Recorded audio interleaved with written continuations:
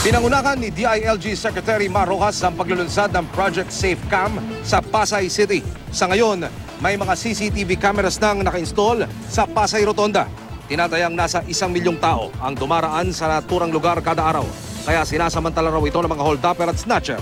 Ang Safe Cam ay bahagi ng programang Oplan Lambat Sibat ng Philippine National Police kontra kriminalidad. Ayon kay Rojas, 650,000 pesos ang ginasto sa proyekto. High resolution daw ang kamera at kayang mag-zoom ng malapitan. Magiging mas palagay na rin daw ang loob ng mga pasahero dahil pati taxi zones kinabitan ng CCTV. Bago matapos ang taon, maglalagay rin ang CCTV sa University Belt, Monumento, MRT, North EDSA, EDSA Aurora, Redemptorist Baclaran at Lasal TAP.